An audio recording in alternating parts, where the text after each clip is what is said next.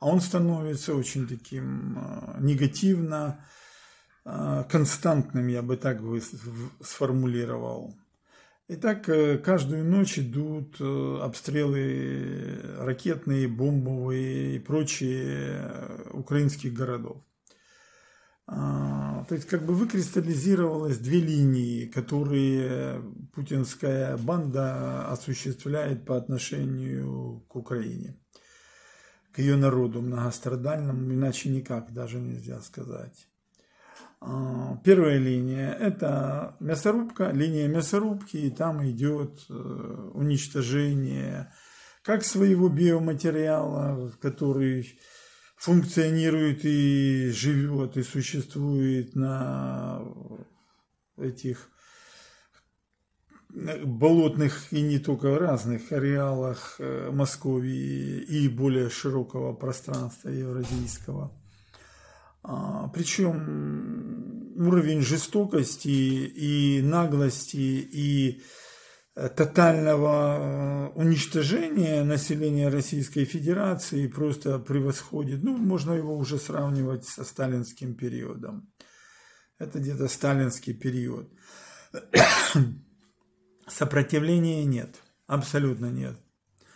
А, то есть, ну, как бы есть стимул, дается шариком швондером, ну, нормально же не пойдет для того, чтобы убивать, получать деньги за счет убийства своих же славян, христиан, православных, правильно? То есть это делают какие-то, ну так и было в принципе. В советское время при Сталине это как раз было, когда одна часть уничтожала другую часть на просторах вот этого империи московско-советской, чекистской, коммунистической, большевистской, я бы так сказал. Сейчас практически восстановлена эта линия. Вот это мясорубка. А, конечно, там преувеличивается, что их там 1300-1400 за сутки а, ликвидировали и ранили. Потому что, еще раз говорю, это как в Грузии и в Молдове считают голоса, да и в Украине тоже при выборах. Вот. И в Советском Союзе это было. Все это все называлось очковтирательство. Потому что ну, как точно посчитать? Надо же точно посчитать. Как это можно посчитать? В Соединенных Штатах там просто считали, там скальпы считали. Ну, скальпы принес, значит, выполнил задачу, получил свои деньги когда был период вот этой вестернизации, освоения Дикого Запада и так далее. А здесь как считают? Ну, типа, кто-то сказал столько-то, столько-то, столько-то, потом пришли данные и потом назвали, чтобы так звучало соответствующие цифры. Но все равно потери большие, это сто процентов. Вот это одна линия. Это э, линия мясорубки и задача, поставленная Белоусову, и он ее реализует, этот а Суворов.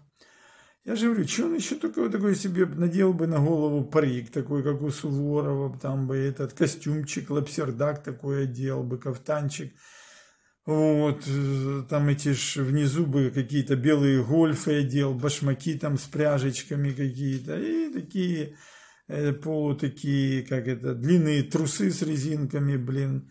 И был бы такой классный паренек, он даже похож был бы на него. Шляпу напялил бы на свою эту самую физиономию. Конечно, редкий вурдалак, редкий вурдалак.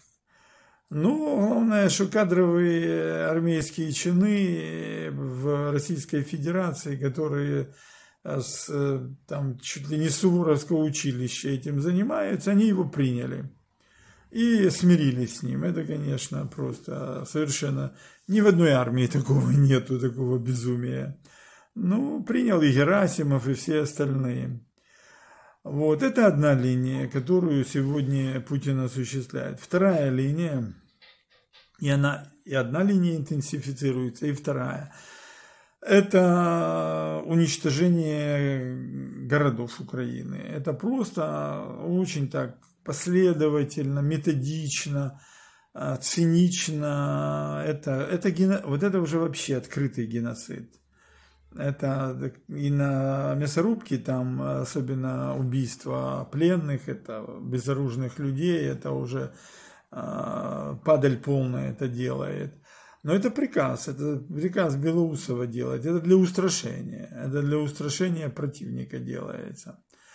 А вторая линия – это, конечно, уничтожение украинских городов. То есть под прицелом на полностью, чтобы их уничтожить как э, экономическо народно-хозяйственный организм, логистический, финансовый, э, социально-гуманитарный, вот, ну вообще как духовный.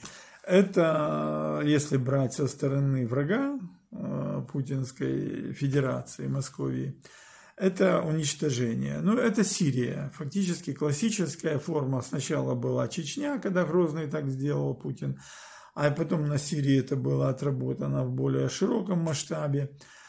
А теперь это украинские города. То есть какие города прежде всего уничтожены? Ну, как Харьков, раз.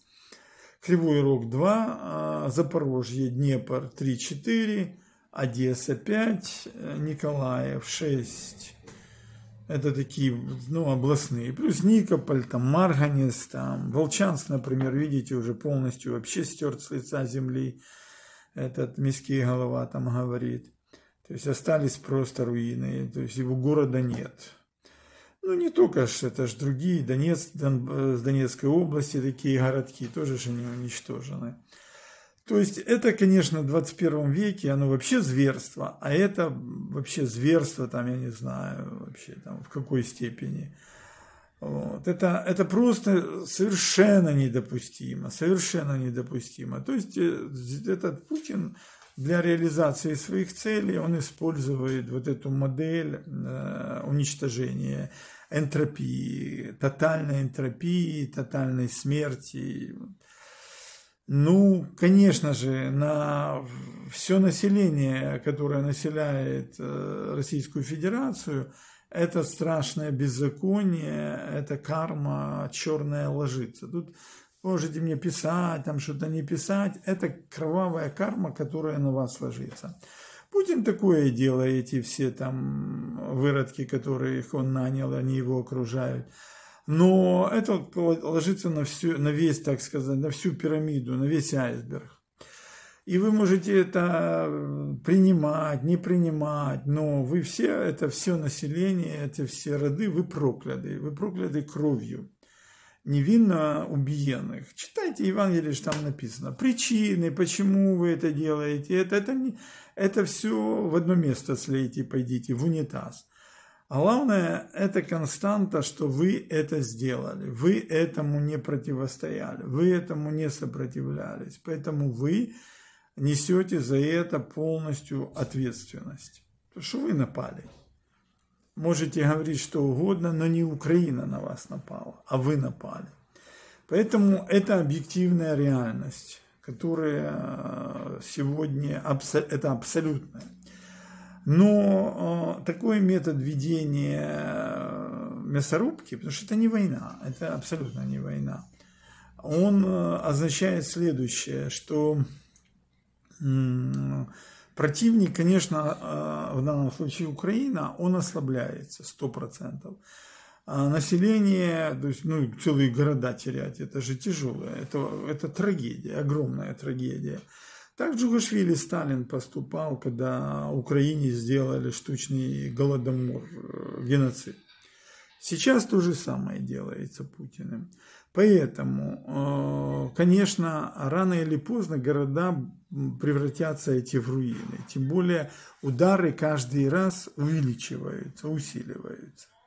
Какой будет э, последствия какие? Конечно, а, поскольку нет западной поддержки, практически она уже отсутствует, Украина долго, а, как бы так, э, вот как организм, она выдерживать это тоже не может. То есть идет разрушение организма по-любому.